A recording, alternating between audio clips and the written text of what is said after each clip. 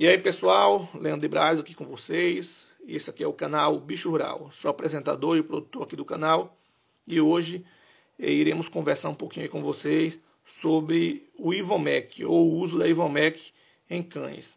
Um tema bastante polêmico, onde as opiniões se dividem, né? inclusive dentro do próprio ramo veterinário. Eu não sou nenhum veterinário, sou apenas um criador e observador né? Daqui, da, da, das formas que eu utilizo aqui nos meus cachorros. É, e vou estar trazendo um pouquinho de conhecimento para vocês aí sobre o assunto, porque como eu faço uso desse medicamento aqui nos meus cachorros, e também acabei sendo excluído de um grupo né, de WhatsApp pelo administrador, que ele lá deu a opinião dele, devido ao vídeo que eu postei lá falando que utilizava esse medicamento, ele achou um absurdo e acabou me excluindo sem me dar o direito de defesa. Aí, devido a isso, eu resolvi gravar esse vídeo e postar aqui no YouTube para vocês tirar, para você ficar tirarem as suas próprias conclusões, né? Se, se deve ou não estar utilizando aí um Invomec nos seus cães ou nos seus cachorros, né? Inclusive, pessoal estava estudando um, um, pouquinho sobre o assunto, né? Eu vi um, um, um veterinário, não, o próprio veterinário, se contradizendo com relação ao uso do Invomec, né? Que eu vi um estudo dele ah, há uns sete anos atrás, ele falando totalmente contra o uso da Invomec é, em cachorro. Aí depois eu vi um mais recente, né? Ele falando que já, já tipo, contradizendo a, a fala dele anterior, dizendo que, que pode ser utilizado, mas contanto que seja com uma prescrição de um veterinário, né? Ou seja, indicação de um veterinário. Aí e dentro das, dosagens corretas, enfim, né? Você vi, eu já vi ele ali mais maleável com relação ao uso do Ivomec. Aí depois eu ainda vi outro mais recente do mesmo veterinário falando, né, que poderia ser utilizado contanto que com responsabilidade, né, uma, é, da forma mais indicada, enfim, eu, eu vi ele, né, a cada postagem que ele, que ele fazia ou a cada estudo que ele fazia sobre o uso do produto, eu vi ele mais maleável. Então, se dentro do próprio ramo veterinário né, existem as contradições sobre o uso ou não, ou não uso do, do produto, imagina a gente que não estudou, é, é, não fez nenhum tipo de curso superior sobre, sobre é, o assunto. Né? Ah, o que a gente sabe é o que a gente estuda através dos, da, das plataformas aí, é, nas, das redes sociais, né? Google, YouTube, enfim. Né? Cada um vai procurar o conhecimento no canto onde tem, tenha mais facilidade. Aí eu resolvi, pessoal, né, gravar esse vídeo e deixar aqui minha opinião para vocês sobre o uso da Invomec em cães. Nós sabemos que existem dois tipos de, de Invomec, né? Tem o injetável e tem o, o em comprimido, que é em cápsula. O mais recomendado para os cachorros é em comprimido, inclusive pelos próprios veterinários, o veterinário também recomenda né, o uso da Invomec é, em comprimido, né, mas não para todos os cães, como nós sabemos também existem algumas raças e alguns cachorros que não podem estar utilizando o Ivomec. É, por exemplo, cachorro filhotes não é indicado para filhotes, nem para cachorras, cadelas gestantes, nem lactantes, cachorros como o Collie, né, algumas raças que não pode ser que não pode estar utilizando também, né, o Invomec, o pastor alemão, principalmente o branco, o pastor australiano, o Border Collie, enfim, outras raças, né? E os cruzamentos dessas, dessas raças também.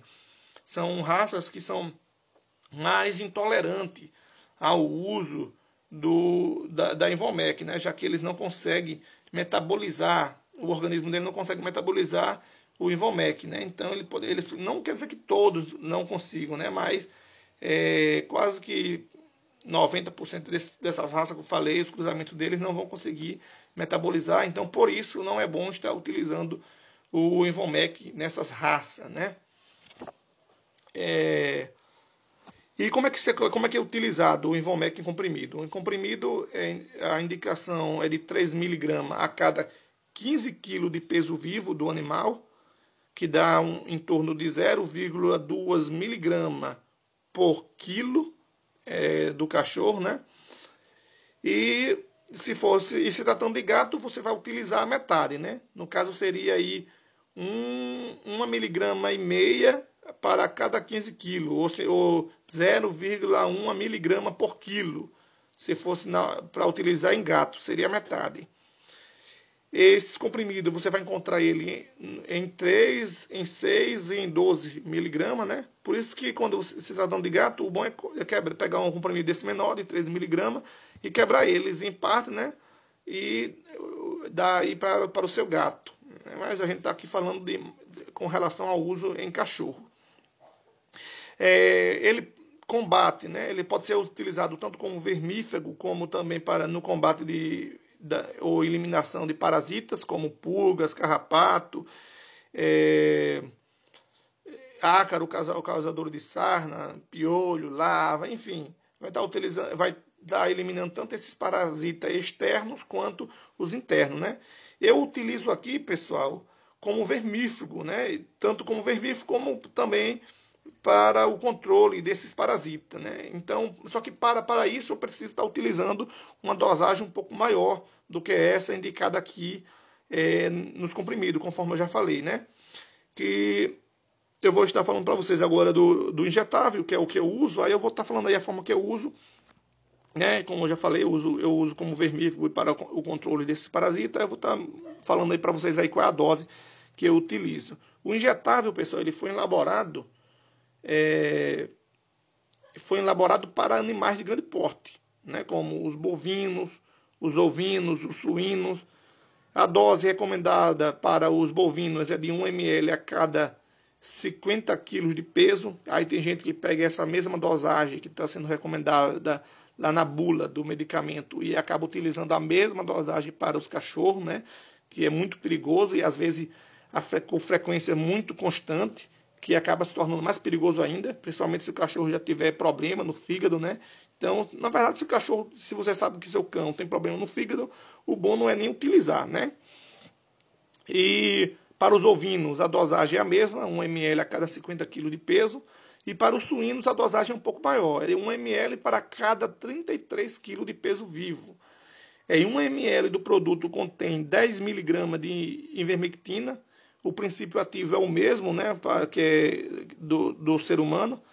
É, a, a, gente sabe que o Invomec, a Ivermectina, né, que é a mesma coisa do Invomec, ele foi utilizado aí também no combate ao Covid, né, em seres humanos. Então, o princípio ativo aí é o mesmo, não tem diferença nenhuma. É, entre o que é utilizado no animal e o que é utilizado também aí nos seres humanos. E como é que eu utilizo, pessoal, o Invomec aqui nos meus cachorros? Eu utilizo o líquido, né? Apesar de do comprimido ser melhor metabolizado pelo cão, eu prefiro utilizar o líquido porque eu utilizo em uma dosagem maior para, para combater os parasitas e também é, as verminoses. Eu faço uso de seis em seis meses nos cachorros adultos, não utilizo nos filhotes, nem nas, nem nas cachorras gestantes, nem lactantes, como já falei. Meus cachorros aqui são de médio porte grande, né? Eles são, eles são uns cachorros que giram em torno de 25, de 15 a 25 quilos, alguns podendo chegar até 15 quilos, os nossos, os nossos cães. E para vocês entenderem melhor essa questão de porte, eu vou falar aqui para vocês, detalhar aqui é, o que seria um porte pequeno, médio, grande, enfim. Ele tem um porte mini, que seria de 500 gramas até 6 quilos, aí seria os cachorros de porte mini. O de porte pequeno, de 6 quilos até 15 quilos, porte médio de 15 a 25 quilos, nesse caso aqui são, são os meus cães, né? Que dentro desse porte aqui, de porte grande de 25 a 45. É, agora, recentemente, eu estou para adquirir um cachorro desse porte, né? Que é um Peter Monster. Eu acredito que ele vai passar aí de 30 quilos. Aí ele vai estar tá aqui encaixado aqui nos cachorros de porte grande. E tem os extra grande, que seria o de 45 a 90 quilos. Aí, pessoal, para esses, esses cachorros aqui de porte extra grande, né? Você poderia estar utilizando aqui, do meu ponto de vista, 1 ml de 6 em 6 meses, né? Ou seja, um cachorro aí acima de 50 quilos. Aí você iria, iria estar utilizando a mesma dosagem do ovino mas em uma frequência menor. A frequência seria de seis em seis meses, que é a frequência que eu utilizo aqui nos meus cachorros. Estou falando aqui a forma que eu utilizo, pessoal, né? Não é a forma que é recomendada aí pelo, pelos veterinários. Isso aqui é a forma que eu faço. E não quer dizer que o, a, a, forma que eu utilizo vai ser também a melhor forma para, para o seu cachorro, né? É como eu, como eu disse, eu, eu faço a aplicação e observo se, tá dando, se tá, os resultados estão tá sendo positivo ou negativo. Aqui, nos meus cachorros, eu só vejo resultado positivo. Nunca tive problema com, com o uso da Ivomec. Pelo contrário, né? Eu percebo que o cachorro acaba se alimentando melhor, porque vai estar sem os parasitas lá incomodando ele, sem vermes, né? enfim, a gente consegue fazer esse controle aí o cachorro acaba tendo um pouco mais de saúde e disposição. Pelo menos com meus cachorros são assim, né? É, mas a gente sabe que existe, pessoal, né? Os efeitos colaterais, né? É, que é dada, que é dada devido à intoxicação, que, porque tem pessoas que utilizam às vezes por causa da facilidade do, de, do acesso ao produto, acabam utilizando em dosa, as dosagens muito altas e às vezes em periodização muito curta, acabam utilizando com muita constância e não é bom estar utilizando constantemente esse produto, porque você pode estar acabando, né, intoxicando o seu, o seu animal. Né? Quais são os sintomas de intoxicação? Geralmente você vai observar tremores, sonolência, convulsões, hipersalivação, taquicardia, entre outros, né? que pode ser observado aí no seu cachorro, né? Você vai estar, vai estar observando. E esse e a intoxicação, pessoal, não existe tratamento para intoxicação com, com o uso da ivermectina, né? Pelo pouco que eu vi aí nos meus estudos. O que, o, que a, o veterinário vai estar tratando é o sintoma. Então, se o seu cachorro vier assim, ser intoxicado, não hesite, pessoal. Leve, leve o seu cachorro para um veterinário, né? Para poder estar tratando aí os sintomas causados pela intoxicação. Lembrando que, dependendo da dosagem, o cachorro pode vir até a morrer, pessoal, né? Então, tem que se tomar um certo cuidado com o uso de medicamento, né? É, nos seus cachorros, principalmente o uso da, Invo, da Invomec, né? É, eu utilizo aqui, mas graças a Deus não tive nenhum problema. E como já falei, eu utilizo em uma dosagem é, razoável, né? Eu, eu, eu uso meia ml a cada seis meses em cachorro de porte médio grande. Né? Então, é, como a, eu, eu utilizei um período longo, né, de seis meses, que é o indicado no sentido de, de, de, tratamento das verminoses, né? Os cachorros têm que ser vermifugados a cada seis meses, os cachorros adultos. Então, eu utilizo como vermífugo o, a Invomec. De seis em seis meses, meia ml nesses cachorros. Se fosse de porte de um cachorro assim de 45 assim, para mais, eu utilizaria um pouco mais, né? Eu utilizaria uma, uma ml. Enfim, pessoal, isso aí seria o que eu teria para falar é, hoje para vocês. Espero que tenha ficado claro aí o meu posicionamento com relação ao uso da Invomec em cachorro. E espero que tenha ajudado vocês também aí com seus, com seus animais. Se você gostou, já deixa aquele like, se inscreve aí no nosso canal. Deixa aí nos comentários o que você achou né, a sua opinião sobre o uso da Invomec também. E até o próximo vídeo. Valeu, galera. Forte abraço do seu amigo Leandro de Braz.